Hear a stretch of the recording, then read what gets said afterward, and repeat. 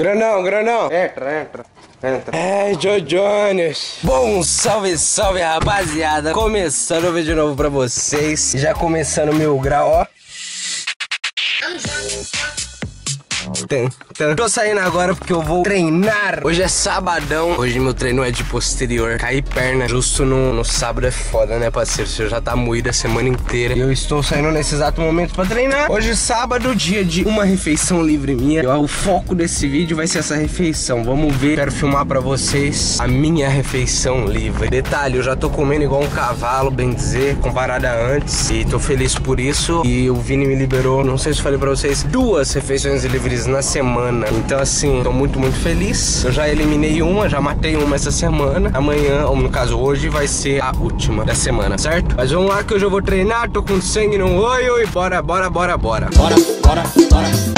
Ai, Joe Jones, finalizado meu treino. Hora de ir embora. E eu acabei de passar no mercado porque eu vou levar a Beatriz hoje no curso dela, mano. E não vai dar pra eu ir pra casa pra comer, então eu resolvi comprar as coisas aqui mesmo pra fazer lá na casa da sogra. Comprei carninha, comprei isso daqui, mano, é muito bom, velho. Pena que é caro, não dá pra comprar sempre, que é o repolho já picadinho. Aqui tem um mix de repolho roxo, cenoura e o repolho branco, porém, sete e pouco. Só nesse negocinho. Isso daqui dá pra uma refeição, que é 200 gramas. Então, é melhor comprar o repolho inteiro e picar ele, né? É verdade. Fala o quanto você é burro. Eu? Não, eu, eu sou. Eu, eu? eu. Eu nem vou me discutir, porque depois você corta tudo, você é mó lazarento. Fala. Não vou cortar, não. Minha palavra de homem, não. Por que que eu sou burra? Eu comecei a namorar com você, né? Por isso que eu sou burra. Estou aqui comendo uma carne sem pesar, que é a Beatriz. Eu falei, vai lá, pesa o arroz pra mim, fazendo um favor, 250, enquanto eu preparo a Você carne. pega o arroz pra mim. Hã? Pega o arroz pra mim. Você não falou, pesa o arroz. Eu falei, você não pesou o arroz? Eu pesei! Aí Olha eu isso. Olha aí, eu falei pra pesar o arroz Ó, pra mim, eu falei vamos lá. 250 de arroz. Vou explicar. Você me deu o prato, falou, pega o arroz pra mim. Beleza. 250, 250. Sim, foi o que eu fiz, não foi? Mas eu achei que você ia descer e ia ficar esperando lá, porque você não queria, senão não foi sua mãe que falou. Vai lá pra baixo todo mundo. Ah, e aí você ficou bravo comigo porque eu subia e depois você falou, pesar carne? Ninguém pediu pra pesar carne, falou pra pesar o arroz. É daqui pra pior, meu irmão. Só, é anormal umas coisas dessas. Como que a pessoa pesa o arroz e não pesa a carne? Eu comi carne sem pesar. Eu falei, deu tanto. É só você tirar o valor do prato. Aí o que que você fez? Deu uma de revoltadinha, tirou toda a carne do prato e pesou. A dieta é de quem? Ai, meu pai amado, é isso daí, senhoras e senhores. Vim aqui comer, preferia ter ficado na minha casa e ter vindo ver a cara da Beatriz hoje. Não sei porque veio. Tomar meu H2O aqui, ó, pra não me estressar com você. Hum, na. Prato de uma pessoa educada, bonita, né? Limpinha. Prato de uma pessoa... Quem é que beija minha boca? Infelizmente sou eu, né? Vou deixar então outras beijar, já que você tá tão triste assim. A pensar meus, minhas atitudes. Vou deixar outras beijar minha boca então, tá bom? Pode beijar. Pode? Pode. Vou beijar de coroa na lá da academia. Fica à vontade. Coitada delas, só desejo boa sorte. É meu, é, não é pra ninguém, entendeu? É meu. Que louco, tio! Joe Jones do céu, mas que calor, mano. Não compensava ir embora pra casa, porque o curso da Beatriz é só uma hora. Era conta de chegar lá, ficar cinco minutos em casa e voltar, então eu resolvi ficar por aqui. Aí eu fui agora ali no Atacadão, aproveitei pra comprar um peixe. Um peixe não, camarão. Detalhe, eu tenho medo de tudo que vem do mar. Tenho medo de peixe, medo de pegar mesmo, não, não pego em peixe. E camarão eu tenho um trauma, porque eu lembro de uma vez, um professor meu de biologia falou que camarão era como se fosse o urubu do mar. Tudo quanto é carniça que tem, ele come. Desde então peguei trauma, nunca mais comi camarão. Mas a princípio fui lá, comprei, porque amanhã minha sogra vai fazer um almoço, que é dia dos pais. Eu já aproveitei pra comprar um. Um cubano, entendeu? Não manjo tanto de charuto. Às vezes eu gosto de fazer uma graça, então eu resolvi comprar um, um charutinho. Olha o GPS ligado. Iria direita, encosta Aguiar. Ah, tomando seus olhos, menino.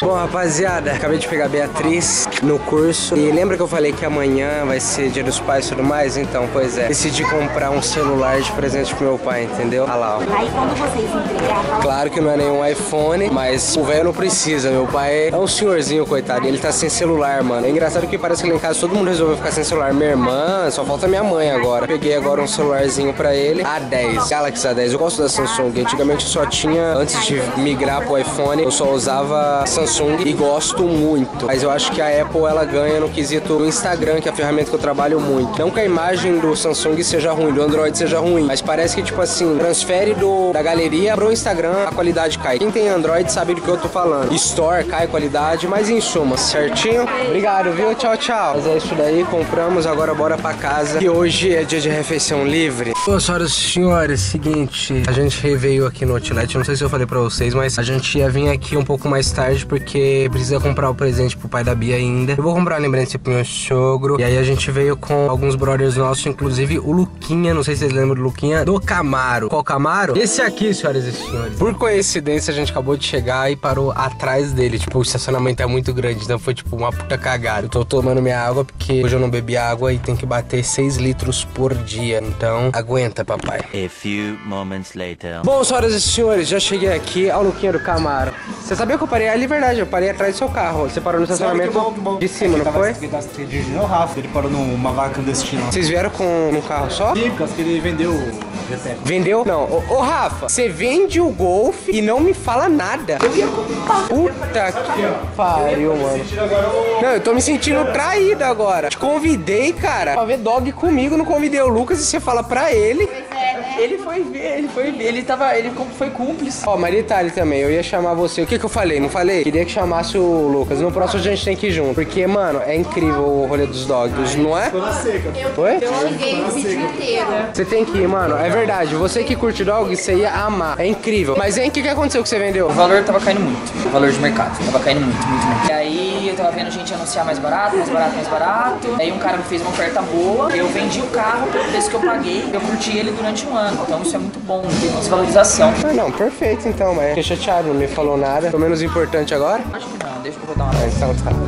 Ah, Então tá bom. Mas é, nós, a gente tá aqui no Outlet, mano, tem uns tênis muito loucos. Eu vi um agora aqui. Na verdade não é tênis, esse é bota. A bota da Timber, que é cara pra cacete. Olha isso aqui, ó. Por 299, irmão. Tem noção do que que é 299 numa bota? Só que eu não vou gastar. A intenção é aqui é comprar presente pro sogro. Eu já comprei muito tênis. Bom, rapaziada, acabamos de. Estamos, aliás, aqui no, no Outlet da, Adidas- da Nike, aliás. Eu acabei de comprar um shorts do Corinthians pro meu sogro. Meu sogro corintiano fanático. O que, que eu vou dar pra ele? Um shorts do Corinthians. Eu não sou corintiano, mas sogro é, né?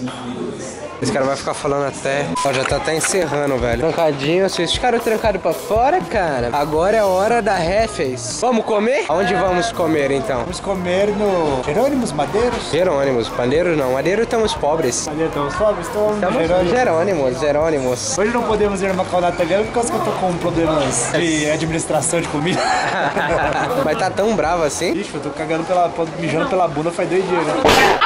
Vamos comer agora, eu quero mostrar pra você. Jerônimo é um lugar onde faz hambúrguer, certo? E aí é um hambúrguer padrão madeiro. Pode-se dizer que é padrão madeiro? mesmo dono. É o mesmo dono? É tipo madeiro de menor custo, que deve ser muito bom. Então, é gostosinho igual, então vamos lá, vamos matar essa refeição no madeiro. E o bom é que é carne de verdade, né? Verdade, não é carne de minhoca igual no McDonald's. Não fala mal do meu Mac, hein? Que eu gosto de um Mac. Chegamos no Jerônimo, agora é hora do estrago. Você não pode comer muito, né?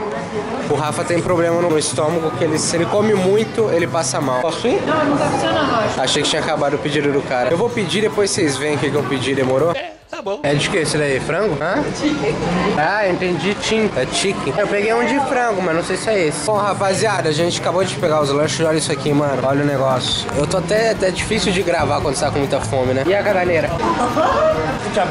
Dois lanches com caganeira.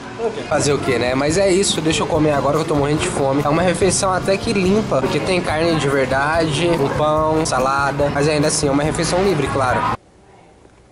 Ele tá todo torto dormindo. O jeito que para fica, né, parceiro? Olha o tamanho dessas bolas. Olha o tamanho dessas bolas, parceiro. Coisa gostosa do pai. Caso vocês não saibam, criei um Instagram só para o Ragnar e o Bob, que é cachorros.domax. Sigam lá, porque a minha irmã vai ficar responsável por administrar. Pode pá? Mas bom, rapaziada, eu vou encerrar o vídeo por aqui. Minha mãe tá dando faxina aqui, vou até sair de perto. Mas, mano, eu fiquei chateado porque eu queria fazer de fato um vídeo focado na minha refeição livre. O problema maior é que eu vou filmar quando eu tô com muita fome. E sabe quando você tá, tipo, velho, batendo batendo punheta e você não consegue parar na hora que. Entendeu? É basicamente isso daí. Na hora que eu tava com fome, mano, foi um sacrifício só pra pegar a câmera pra filmar aquele tape. Minha vontade era de devorar os lanches inteiros. Mas por fim, acabei nem mostrando direito. E como eu falei no final, essa refeição livre, ela, por conta dos molhos, ela se torna uma refeição livre, porque deixa calórico, muito sódio e tudo mais. Mas se tirasse os molhos ali, tava tranquilo. Era carne grelhada, pão e uma salada. Esse é basicamente os lanches do Jerônimo. A princípio eu gostaria de fazer e vou fazer ainda um vídeo comendo pra cacete no Mac. No Mac. Eu gosto muito do Mac, o Lucas brincou, né, que é carne de minhoca, mas eu gosto do Mac. Hoje é terça-feira, o dia que vai sair esse vídeo. Eu tô indo pra minha terceira semana de preparação. Foco total, treinei bíceps ontem. Eu tô revisando toda hora o braço aqui, porque meu braço morreu. E é isso, eu espero que vocês tenham curtido. Não esqueçam de se inscrever, deixar o seu like, me acompanhar no Instagram. Eu soltei agora um quadro que sai toda segunda-feira no Instagram, no IGTV, o vídeo da semana. Então acompanhe lá porque tem muita coisa da hora. Pode pá? É nóis, espero que vocês tenham curtido. Deixa o like, tamo junto.